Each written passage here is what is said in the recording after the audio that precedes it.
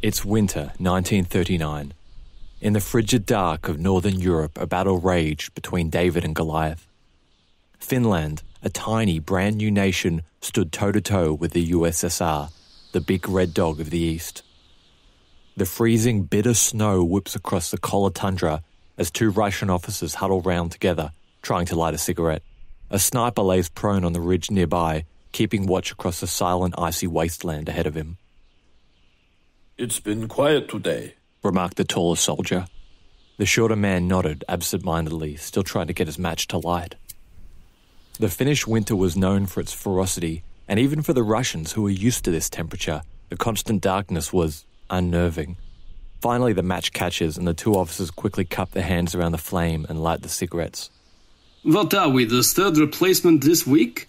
That damn sniper has trapped us in this wasteland. The men have started calling him the White Death, said the smaller man, taking a drag. It is not good for morale. Comrade Stalin does not like delays. Well, if Comrade Stalin would send us a few more tanks, we could blast our way through and be having lunch in Helsinki by the end of this week. The other man said, grinning, taking a deep drag just as the cigarette went out. Suka blyat. This damn weather.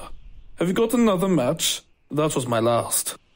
The shorter one turned to the sniper. Vasily, do you have a match? The sniper turned his head but didn't respond. Come on, man, the match. It's near sunset. There's no one there. Reluctantly, the sniper turned around, reached into his jacket pocket, and rose to his feet. By your own da- A shot rang out, echoing against the cliffs ahead. Immediately, both officers ducked down and saw their sniper fall lifelessly on the ground in front of them. The bullet had gone right through his cheek, a near perfect shot.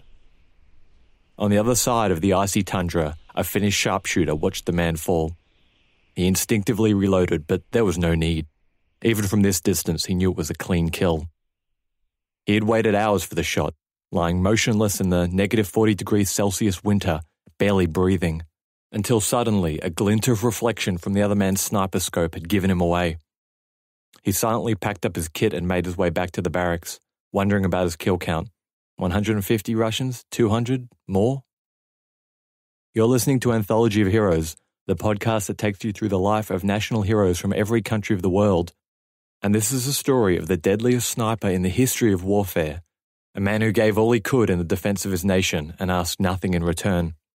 In his home country of Finland, he's called Simo Häyhä, but to the Russians, he was Belaya Smert, the White Death.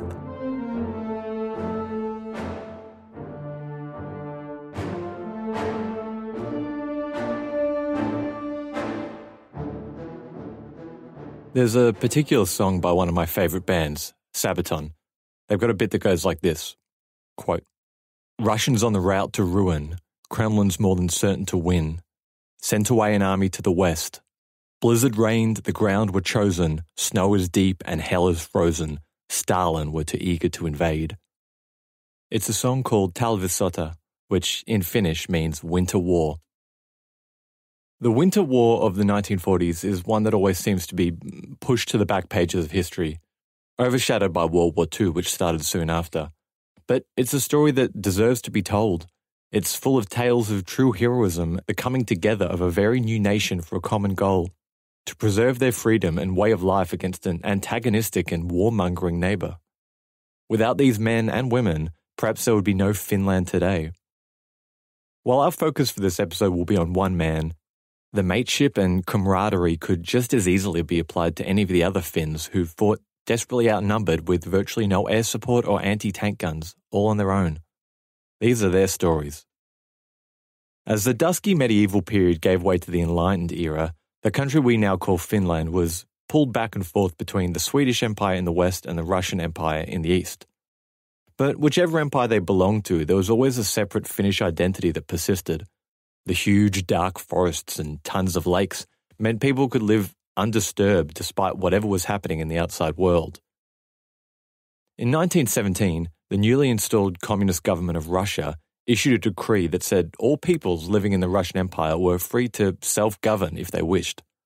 The Finns didn't need to be told twice, and by late 1917, the nation of Finland was born. A nasty civil war followed soon afterwards, At this point in history, the world was kind of in a bit of communist fever, and Finland was no exception.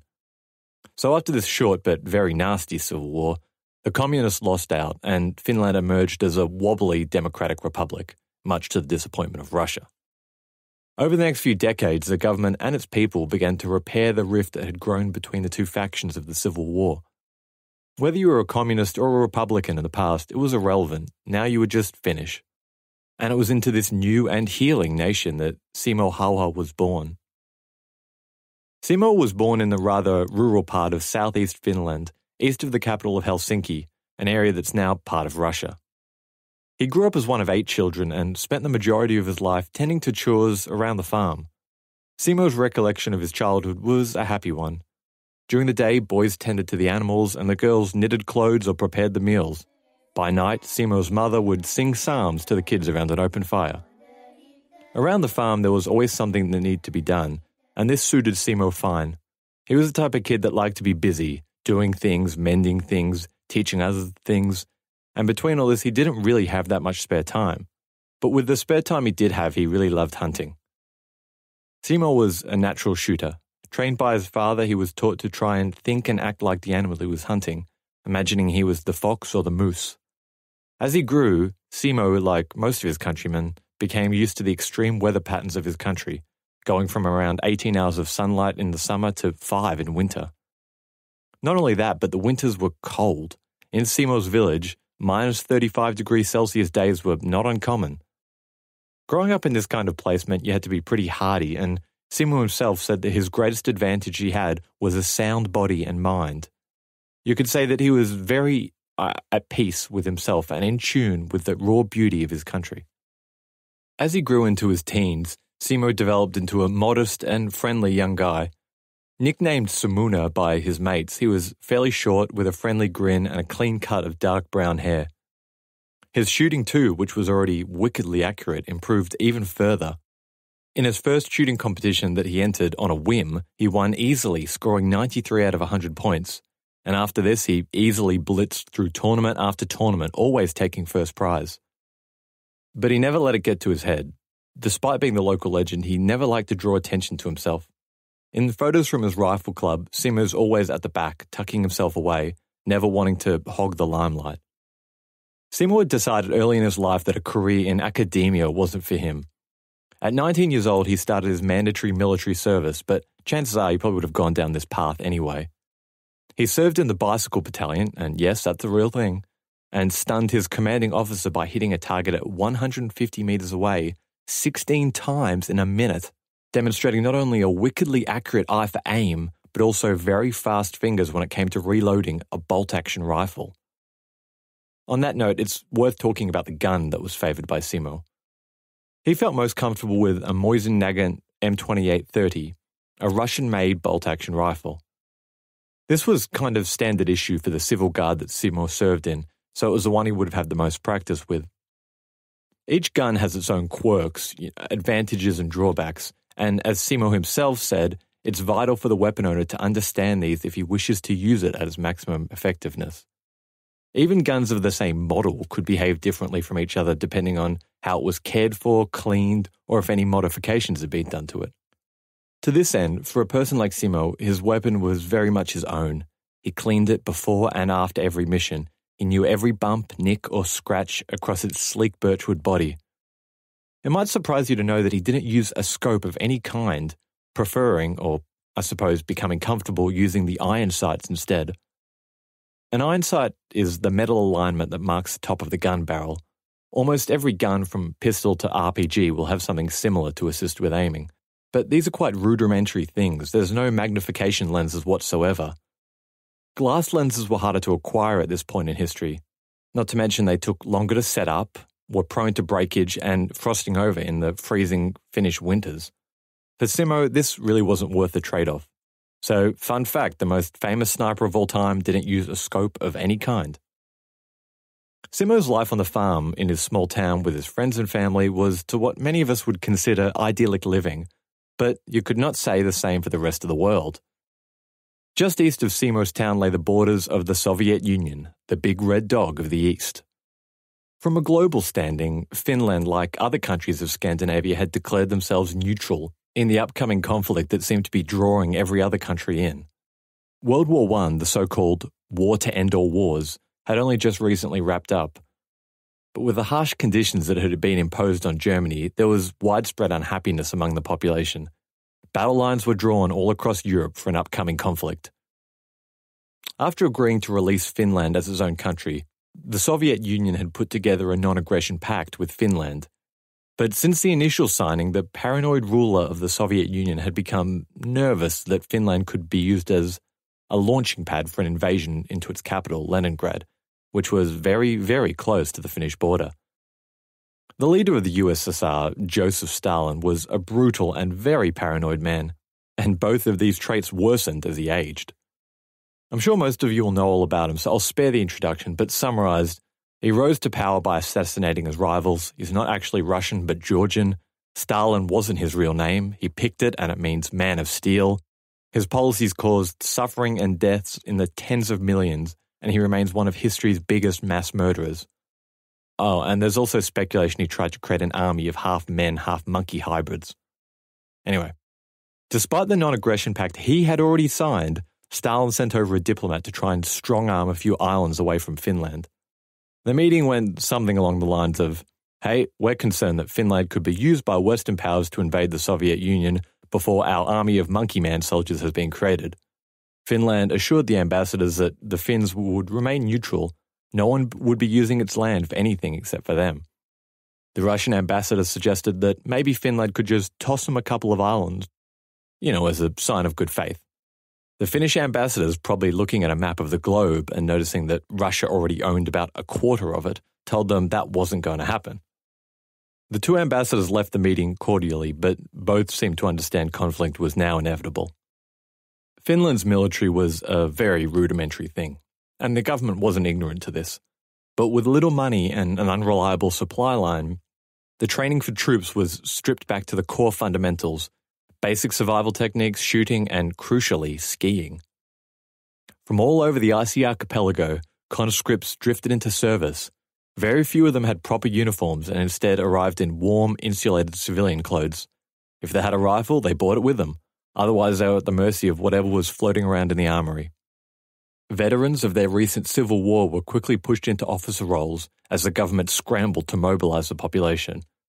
Communists found themselves in the training yard hammering out push ups alongside Republicans, putting their differences aside for a common goal to defend their fledgling country. Add in a sprinkling of foreign volunteers and a small group of German trained elite forces, and that was the Army of Finland.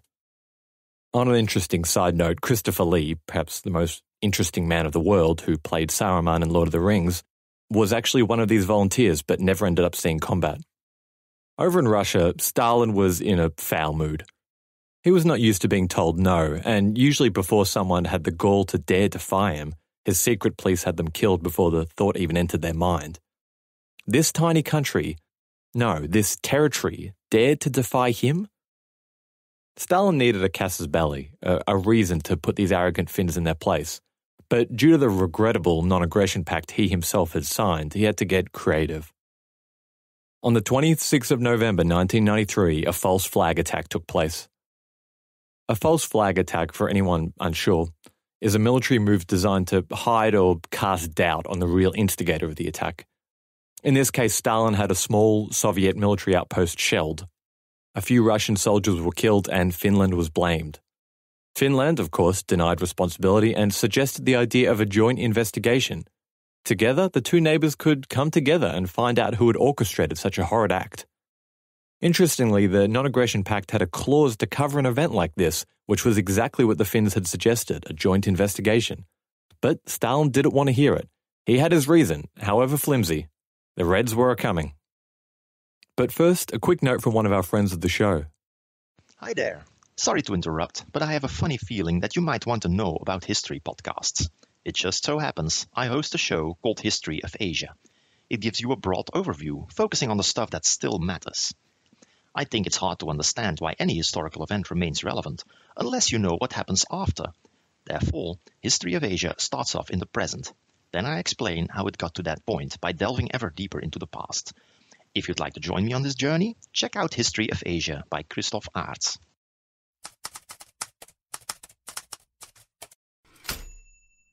Stalin went into the war with a very in and out, 20 minute adventure kind of view. He did not think the war would be hard or long. He was confident that the Red Army would steamroll through Finland. He was so sure of this victory that he double checked his officers were clear about the borders between Finland and Sweden, as he didn't want them to accidentally push all the way into Stockholm after they had finished off Finland. So, why the overconfidence? Simply put, it was because his officers never disagreed with him. They knew Stalin didn't like to be questioned. In fact, he had just wrapped up a two year long purge of anyone who could possibly be a threat to him. All dictators are paranoid, but Stalin was something else. The estimates for this purge sit around 1 million people. Yes, 1 million. From the lowliest peasant to the most decorated military general, none was safe from the creeping claws of the man of steel and his secret police. There were no trials, no charges, just rumours, whispers, or sideways glances. French historian Stephanie Courtois states that during the Great Terror, the following army ranks were decimated by Stalin. Three of five four star generals, 13 of 15 army commanders, 8 of 9 admirals, 50 of 57 army corps commanders, and many, many more rank and file troops. The complete gutting of some of Russia's best military minds left Stalin with a bunch of groveling flatterers with minimal military skill. Even those that perhaps had a sound military mind knew better than to disagree or question the worth of an order from Stalin, lest they and their families disappear one night. On paper, it's very easy to see why Stalin would assume a quick victory.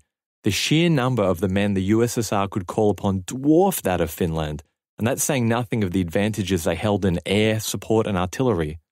But the plucky Finnish defenders had something that wasn't easily quantifiable, something that the Soviets lacked from the onset spirit, or said differently, morale.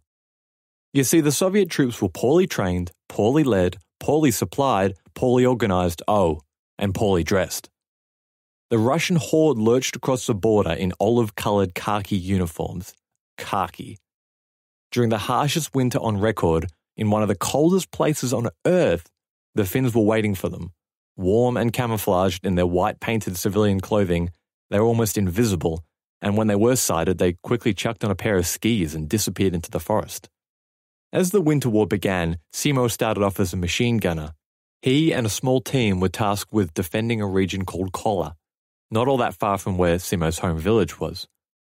The Russian advance was initially slow. This part of Finland had virtually no roads, just patchy forests, and the snow could be deeper than a man was tall. Simo and a few men were given the task of disrupting Russian communications by cutting telephone lines. Despite being under heavy fire, Simo recalls that he was calm the entire time. This kind of fatalistic approach to danger seemed to be natural for Simo, but probably really helped calm other jittery soldiers who were stationed with him. The overall Finnish strategy for the war was one of defense in depth. Slow withdrawal back to a defensive line that was named the Mannerheim Line after Baron Mannerheim, an esteemed Finnish military commander. Once they were pushed all the way back to the line, hopefully some of the Western powers would come to their aid and not allow their burgeoning democracy to be swallowed up by communism, which the West despised so much. As more and more Russians poured across the border, the fighting began to heat up. Many of the Finnish divisions were mainly left to their own devices. With no centralized support, they had to make do with whatever they could find, many groups began to rely on the ammunition they'd nabbed from the Russians they had killed. One of the groups was led by a man named Aarne Juutilainen, who had seen military action before fighting in the French Foreign Legion. Juutilainen was a stone cold badass. This guy had returned from the French Foreign Legion, which was already no picnic, and had spent the last few years battling the Berber tribes of Morocco, apparently giving them such a shellacking that his boys began to call him the Terror of Morocco which ended up sticking. Juutilainen was known to keep a cool head in battle, even under extreme circumstances. A story I found online but couldn't confirm says that to calm the nerves of his men, he took a chair and sat on it in the line of fire, turning to his men behind him and asking, What were you worried about? Whether or not this particular story is true, the Finnish officer corps was brimming with these talented, foreign trained leaders who had returned from home with the express mission of defending their country Juutilainen was the first to notice that Simo had a wickedly sharp aim and that the man of this quality was wasted as a machine gunner. As Simo and his friends scrambled to defend the borders, the rest of the world looked on with disdain at Stalin's invasion. The League of Nations, the precursor to the United Nations of today, called the war illegal and actually booted the USSR out of the organization. Many countries pledged to support Finland, but apart from a few volunteers from Sweden, none came forth with any real numbers. Inside the USSR, propaganda bled through the radio waves, educating its civilian population that the bombing runs they were subjecting Finland to were actually just food drops and humanitarian aid. The fascist leaning Finns were starving their population. Hmm, yeah, okay. The Finns seemed to enjoy this type of story and nicknamed the bombs Molotov bread baskets, after the Russian ambassador Vyacheslav Molotov. And continuing the joke in an act of the typical bone dry sense of humour that's well known to the Scandinavian countries, the Finnish army named their new incendiary weapon the Molotov cocktail, an appropriate drink to go with the food that their dear friend Mr. Molotov had sent them. The Molotov cocktail was easy to make a glass bottle, a rag, gasoline, and a match. And once a local alcohol producer began to send Molotov kits to the front line, the men had finally something to throw back at the red tanks. It was crude, but it worked. The tanks of this era were not sealed like the ones of today. Once the bottle shattered on the outside of the tank, the fiery liquid could leak into any number of ventilation or exhaust holes, burning the crew inside or damaging the equipment. This new weapon, the Molotov cocktail, was to be one of the first of many ingenious low tech inventions that the Finns would come up with over the course of the war.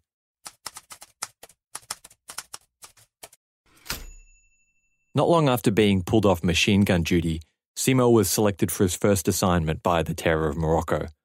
He was to take out a Russian sniper that had killed three platoon leaders and one courier. The enemy sniper had proved himself a crack shot, and his presence was a continual danger to the troops, not to mention slowing down communication.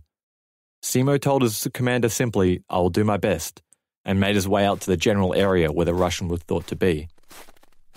Completely covered in snow white camouflage with four or five layers of clothing to keep warm, with a white bandage even covering the wooden stock of his rifle, Simo would have been near invisible, but he didn't want to take any chances. Simo would usually pad out the area around his rifle stock to avoid the snow being disturbed and attracting attention. He was even known to keep a mouthful of snow so his breath would not be noticed by the enemy.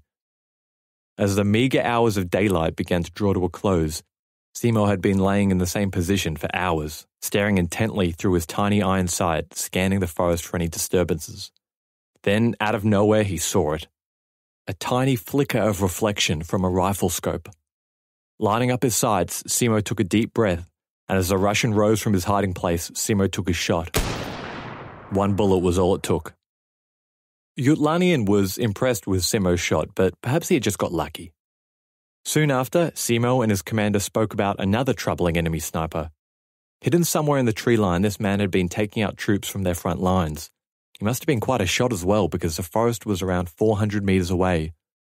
Juutilainen had some experience with a sniper and was frustrated that he couldn't manage to take out the man himself. Simo suggested that maybe he would have better luck. With his own unscoped rifle, Simo's trained eyes meticulously scanned the tree lines with the help of a spotter. A few hours later, he saw him, a tiny mound of snow above a boulder, looking slightly out of place. Simo pulled the trigger. 400 meters away, the Russian sniper fell dead. Once again, a single shot was all that was required. As Simo's special missions carried on, his reputation grew. The Russians, furious at this one sniper sapping morale and slowing their advancement, began to refer to him as Belaya Smert, or the White Death in English. Simo began to kill many, many Russians per day, he usually packed around 50 or 60 shots of ammunition when heading out for the morning.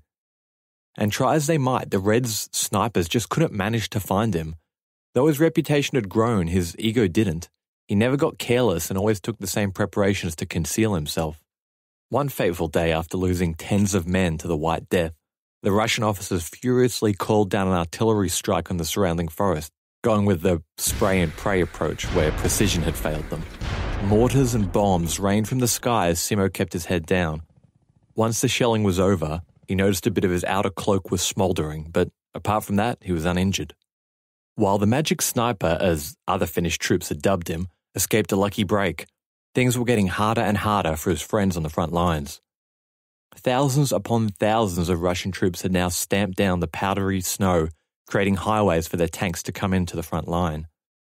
Men like Juutilainen and others were thinking on their feet, and a common strategy that they came together and championed was moti. The word moti in Finnish terms means something like a small chunk of wood, one that has been split apart from the main tree. So this should give you a pretty clear idea about what was involved. Once the tanks and their escorts began snaking through the dark forests over a single lane road of packed snow, Finnish troops would break isolated chunks away from the column. Once they had the moti surrounded, the tanks were taken out with whatever was available. Molotov cocktails were preferred, but something as rudimentary as a wooden log could be jammed in the treads of the tank if the men could get close enough. By the time reinforcements had arrived for the isolated Russian moti, the Finns would have jumped on their skis and disappeared, and the wrecked tank would take hours to clear away. All down the snaking Russian front, scenes like this unfolded. Little microchasms that are hard to be classified into X or Y battle, but collectively make up the defiant struggle from everyday people. Office workers, bankers, street sweepers, these men were not full time soldiers.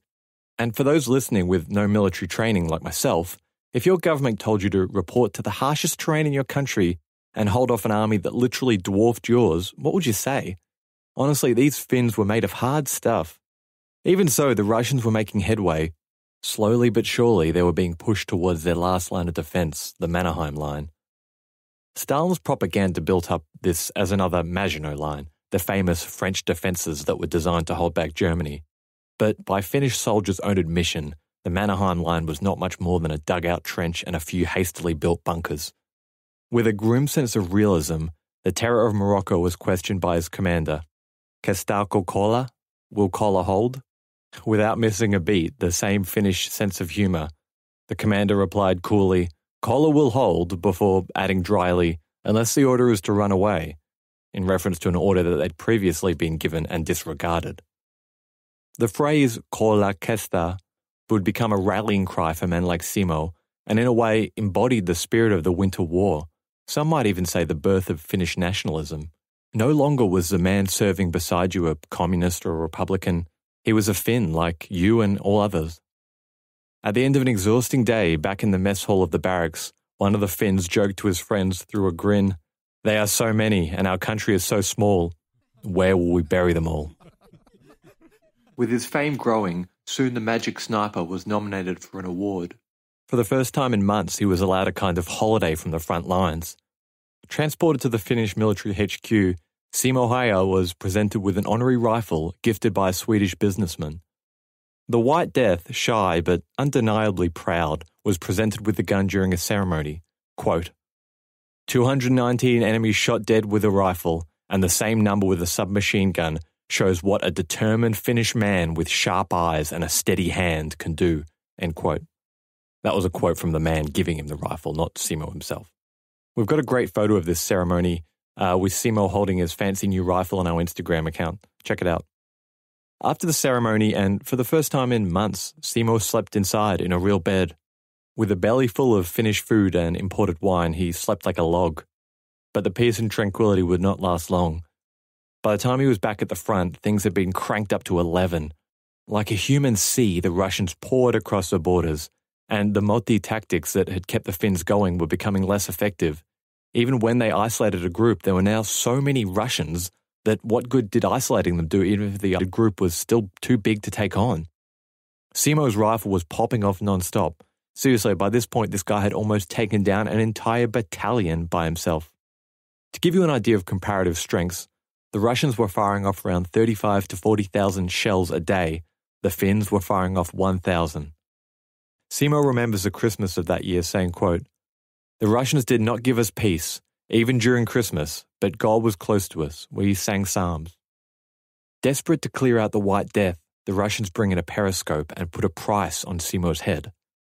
Picture like a periscope for a submarine, but small enough to be used as a kind of handheld tool by the infantry.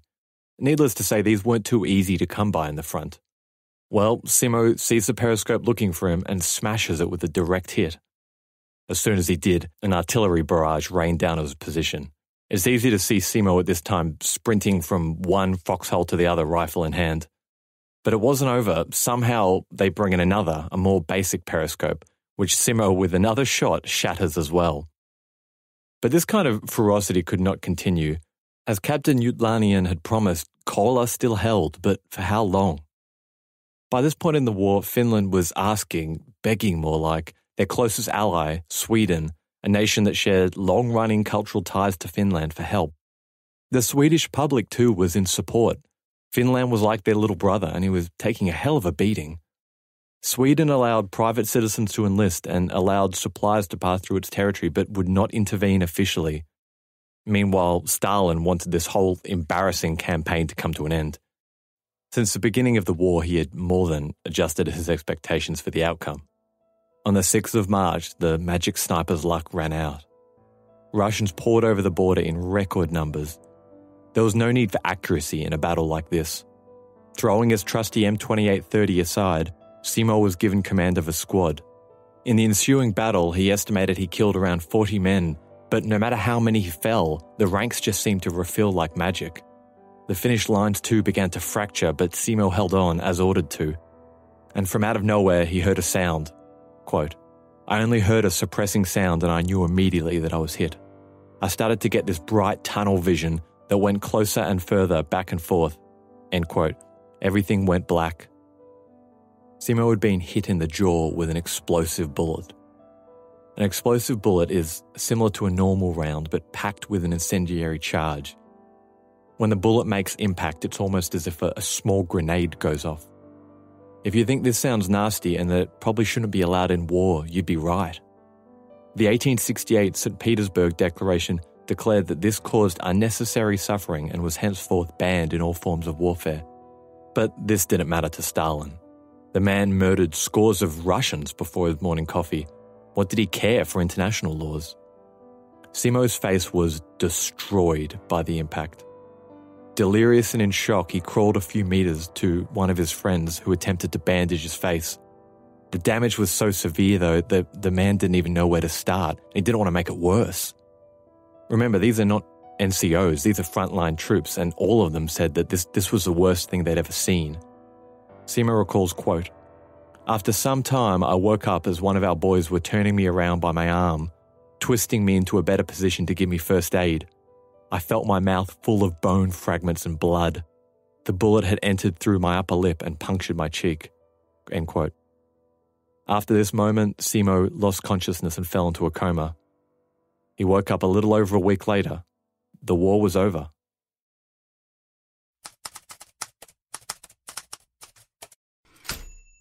When he woke up in the field hospital, what he didn't know was how he got back from the front. There's quite a few different variations of the story for whoever you ask, but the most common ones say that he was dragged back from the front lines and put onto a dog sled and sent to a field hospital. But once the medic there saw the state of his face, he declared that he was dead, or as good as. He was placed in a pile of dead Finnish soldiers that were waiting to be buried. But when Simo's platoon leader pulled back and began their strategic retreat, he called out that they were not leaving until they found Simo. A soldier or nurse, depending on sources, noticed a single foot twitching in a pile of dead bodies. It was Simo's. Barely clinging on to life, he was put on another dog sled while his friends patted out his destroyed face with cotton and bandages. Once he got to the main hospital, he was barely alive. Doctors just managed to stabilize him, but made no guarantees he would live. As the magic sniper lay comatose in a field hospital, the armistice was agreed, a treaty was signed. Stalin's terms were moderate considering his gains. The main condition was that 8% of Finnish territory was ceded to Russia, including much of Finland's industrial heartland. The Finnish cabinet knew they had no options left, but still considered this unfair. The Prime Minister, Kyösti Kallio, signed it bitterly. As he did so, he famously spat, May the hand wither which is forced to sign such a paper, end quote. A few months later, he had a stroke and his writing hand was paralyzed. The Russians, too, were not thrilled by the treaty. One of the generals said darkly, quote, We have won just about enough ground to bury our dead, end quote. The total casualty for Stalin's winter hell was something around 350,000 for Russia and 70,000 for the Finns. But the war didn't just cost Russia men and money. Russian diplomatic reputation suffered all across the globe as they were labeled warmongers. Hitler, observing how Russia struggled against such a tiny nation, famously quipped, quote, All one needs to do is kick in the door and the whole rotten structure would fall in, end quote.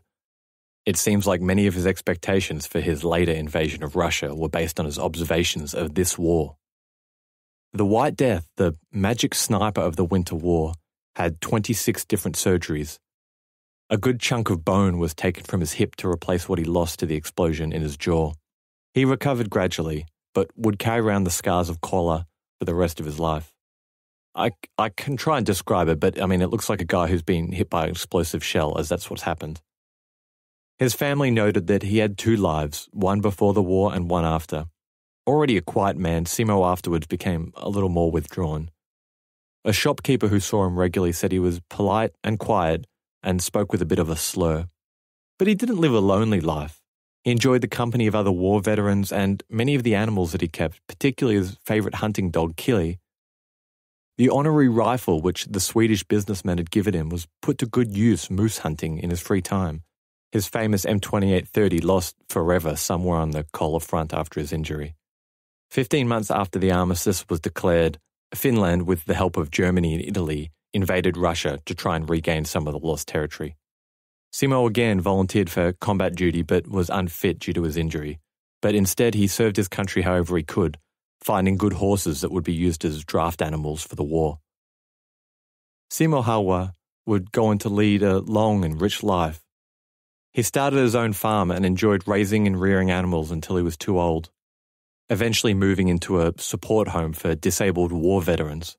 And during his final years of life, he had many visitors who came and saw him regularly.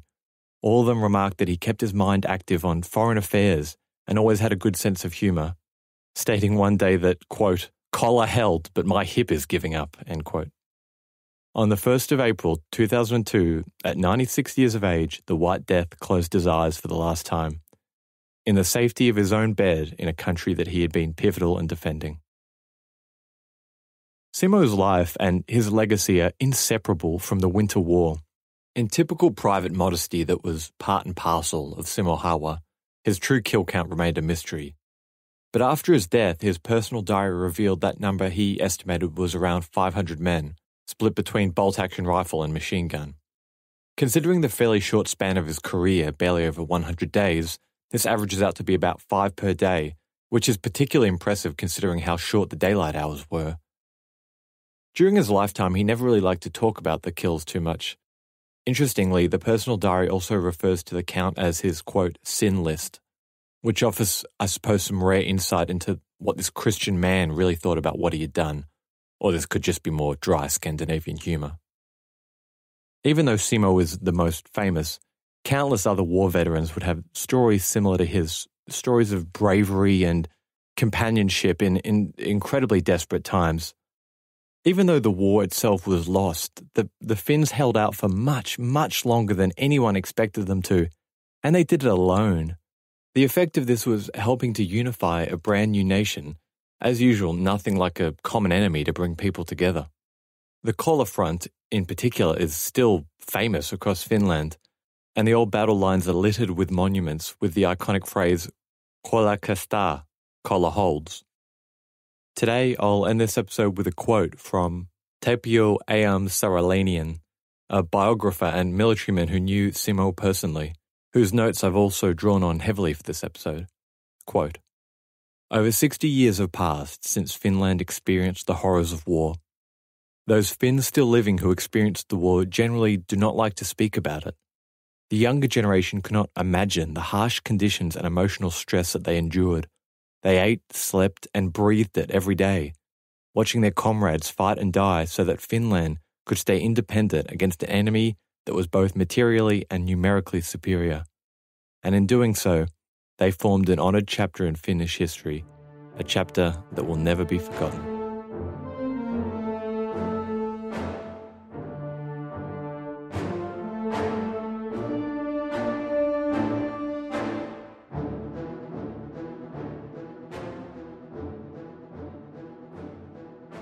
Thanks again for tuning into Anthology of Heroes. My name's Elliot, and I'm the host of the show. If you've enjoyed listening, why not check us out on Instagram where you can find all number of things related to history, show notes, uh, upcoming episodes, and just historical tidbits that I find interesting. Have a great day and see you on the next one. A big thank you to the show's Patreons Luke, Malcolm, Tom, and Claudia. A lot of people don't realize it, but this is a one man show, so there's quite a bit of time that goes into producing it. I love sharing these stories, and it means a ton knowing that there's a people out there who are really enjoying them.